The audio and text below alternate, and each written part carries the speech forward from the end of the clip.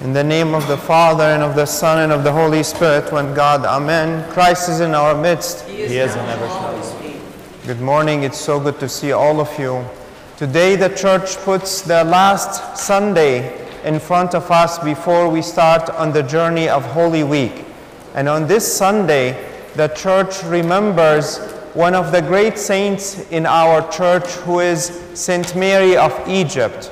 And we have heard the story of her life in full last Wednesday evening in the prayer and briefly this morning as well. But for all of us, what we can take from that story is very simple thing that no matter what our history is, and no matter how our life has been spent so far, we can come back because our Heavenly Father is waiting for us as long as we have true repentance like St. Mary. St. Mary was an example of true repentance, of sincere repentance. And for 47 years, she spent of her life in the desert trying to recover the image of God that was imprinted in her. And for her and in her story, there is a lot of hope for all of us, no matter what we did in our life, as long as we are ready to come back, our Heavenly Father is going to be there to welcome us. On the other hand, we hear this gospel that is giving us the last hints before we get into Holy Week. And we have heard the exchange that happened between James and John and our Lord Jesus Christ, and then with all the apostles about what they were asking him to give them. And it's incredible, what is inc- incredible in this story, if you noticed, that Christ in the very beginning is telling them about the suffering that he was going to endure for them and for everyone. And uh, he tells them all kinds of things. And if you know that in the Gospel of St. Mark, this is the third time he tells them about that. So this is not the first time that they are faced with this reality that Christ is going to be, or their superhero is going to be crucified or killed. This is the third time he tells them, and still they could not understand. One, if we put ourselves in their shoes, we might be afraid, like them, to lose our master. We might be scared of the reality that our beloved master was going to be crucified. So they would gloss over it. The only thing they were fixated on, the, the fact he told them about his heavenly kingdom coming. So what they asked him is, let us be on your right side and your left side. But they did not understand what the whole story is about. And what they could not understand specifically is that how could death bring life? That's the main issue for them.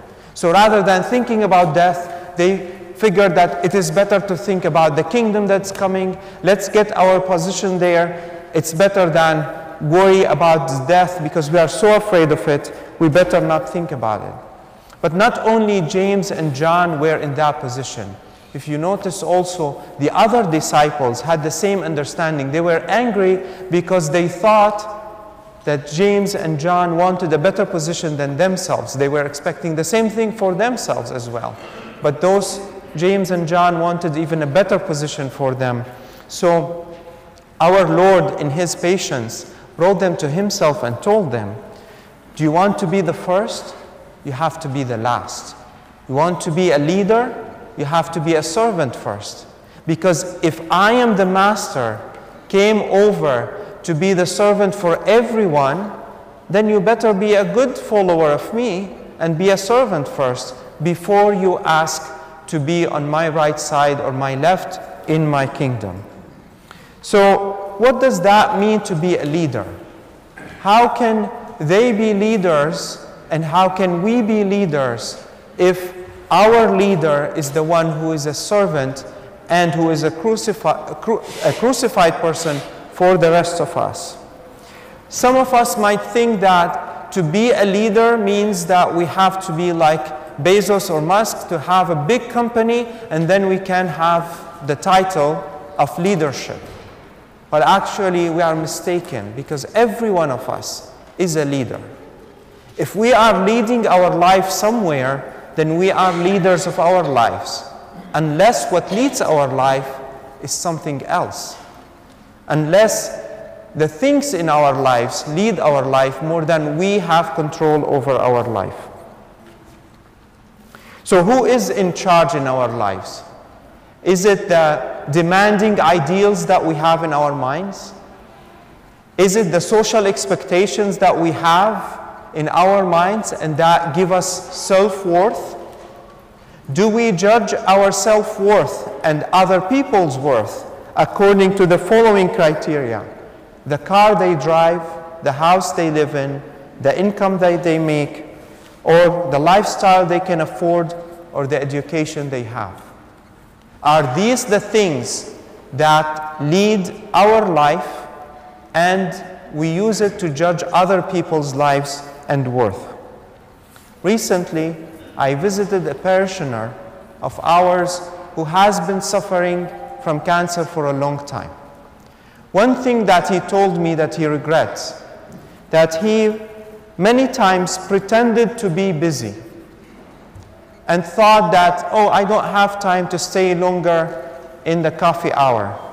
I did not have time to travel to see a faraway relative or a friend.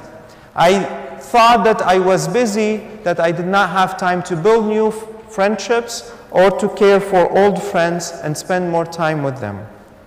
We are surrounded by a culture that tells us that if you are not busy, then you are lazy.